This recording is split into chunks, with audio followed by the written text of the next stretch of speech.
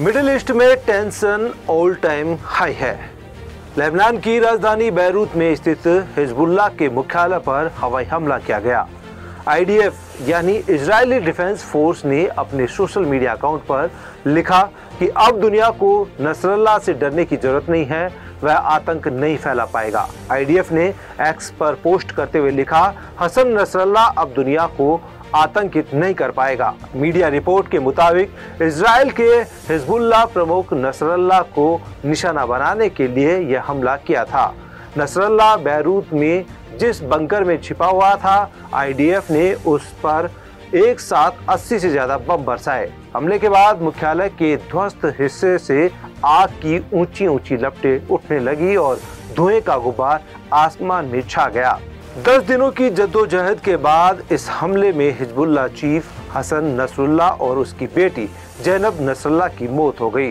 नसरुल्ला के मरने के बाद संगठन की 70 प्रतिशत सैन्य शक्तियाँ खत्म हो गई। हालाँकि अभी ईरान समर्थित हिजबुल्ला ने नसरुल्ला के मारे जाने की पुष्टि भी नहीं की है। इस एयर स्ट्राइक में छह लोगों की मौत हो गई। इसराइल और हिजबुल्ला के बीच एक साल से जारी लड़ाई ने सितंबर मध्य में ज़ोर पकड़ा था। इस दौरान इसराइल से टकराव में अब तक हिजबुल्ला के 20 कमांडर ढेर हो चुके हैं। यह टॉप लीडरशिप का कुल पिचानवे प्रतिशत है।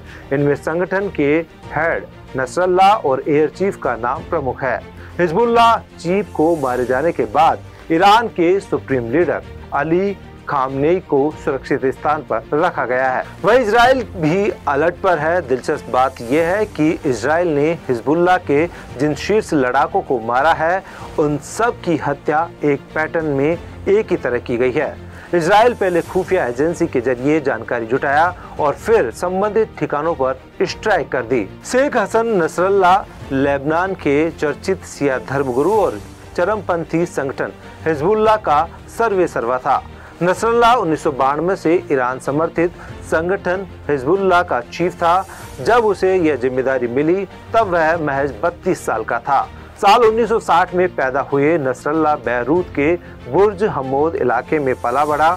शेख हसन नसरल्ला के पिता अब्दुल करीम एक छोटी दुकान चलाया करते थे। नसरल्ला नौ भाई बहनों में सबसे बड़ा था। नसरल्ला संगठन के फाउंडिंग मेंबर्स में से एक था एक रिपोर्ट के मुताबिक, जब साल 1975 में लेबनान में अमाल मूवमेंट शुरू हुआ, उस वक्त सैयद हसन नसरल्ला ने इस चरमपंथी ग्रुप को ज्वाइन किया था। साल 1982 में जब इसराइल ने लेबनान पर हमला बोला तो एक नया संगठन इस्लामी अमाल सामने आया, जिसे ईरानी गार्ड्स ने सपोर्ट किया और बाद में यही हिजबुल्ला बन गया। साल उन्नीस में हिजबुल्ला ने आधिकारिक तौर पर अपना घोषणा पत्र जारी किया, जिसमें अमेरिका और सोवियत यूनियन को अपना सबसे बड़ा दुश्मन करार दिया।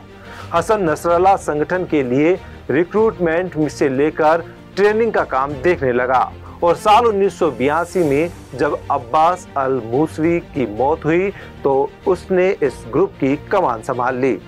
हिजबुल्ला और इसराइल क्यों भिड़े, ये भी हम आपको बता देते हैं। हिजबुल्ला लेबनान का एक अर्धसैनिक संगठन है। इसकी स्थापना नागरिक युद्ध के दौरान हुई थी। 2006 में आखिरी बार इसराइल और हिजबुल्ला में लड़ाई हुई थी। इसके बाद दोनों शांत थे, लेकिन पिछले एक साल से हिजबुल्ला लगातार इसराइल पर निशाना साध रहा था। इस साल के सितंबर में दोनों के बीच लड़ाई में तेज़ी आ गई। हिजबुल्ला के कई लड़ाके पेजर अटैक में मारे जाने लगे, आरोप इसराइल पर लगा। इसके बाद हिजबुल्ला ने इसराइल पर रॉकेट दाग दिया। इसराइल इसके बाद से ही हिजबुल्ला को निशाने पर ले रखा था।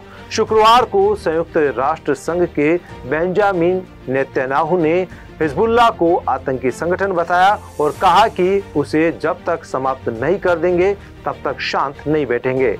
इसराइल के मुताबिक हिजबुल्ला के पास 150 रॉकेट हैं, जिससे उसे खतरा है। इसराइल के लिए ये बड़ी कामयाबी क्यों है? तो आपको बता दें कि हसन नसरल्ला से पहले हिजबुल्ला का चीफ अब्बास अल मुसावी था। मुसावी को भी इसराइल ने उन्नीस सौ बानवे में एक एयर स्ट्राइक में मार डाला था, जिसके बाद सत्ता हसन नसरुल्ला को मिली। अब नसरुल्ला का मारा जाना इजरायली सेना के लिए एक बड़ी कामयाबी है, क्योंकि पिछले एक साल से गाजा का युद्ध भी चल रहा है। इजरायली पीएम जो मानकर चल रहे थे कि यह युद्ध कुछ ही दिनों में खत्म हो जाएगा, वह एक साल से ज़्यादा समय से चलता रहा।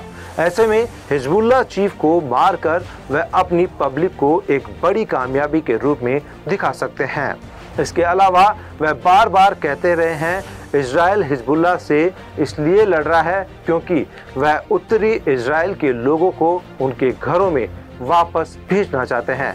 इजरायली सेना ने बताया कि नसरुल्ला को मारने के लिए जो ऑपरेशन चलाया गया था, उसे न्यू ऑर्डर नाम दिया गया था। बैरूत पर हमले के दौरान इसराइल के रक्षा मंत्री यो गैलेंट और एडीएफ के chief of staff command centre से ऑपरेशन पर नज़र बनाए हुए थे। इसराइल ने दो महीने के भीतर हिजबुल्ला की पूरी लीडरशिप को खत्म कर दिया। इसराइल ने 30 जुलाई को लेबनान पर एक एयर स्ट्राइक में हिजबुल्ला के दूसरे सबसे सीनियर लीडर फुआज सुकर को मार गिराया था। इसके ठीक अगले दिन 31 जुलाई को ईरान पर हमला कर हमास चीफ इस्माइल यानी है को भी मार गिराया था। अब हिजबुल्ला की लीडरशिप में कोई सीनियर नेता नहीं बचा है। वहीं हमास की लीडरशिप में सिर्फ़ यामवा सिनवार जीवित है, जो गाजा में मौजूद है। आपको हमारी ये खबर कैसी लगी, आप हमें कमेंट बॉक्स में ज़रूर बताएँ, लेकिन उससे पहले आपको लाइक, शेयर और कमेंट करना ज़रूरी है। साथ ही अगर आपने अब तक इस चैनल को सब्सक्राइब नहीं किया है तो आप इसे सब्सक्राइब भी करें। फ़िलहाल मुझे दीजिए इजाज़त। नई खबर के साथ फिर मिलते हैं। नमस्कार।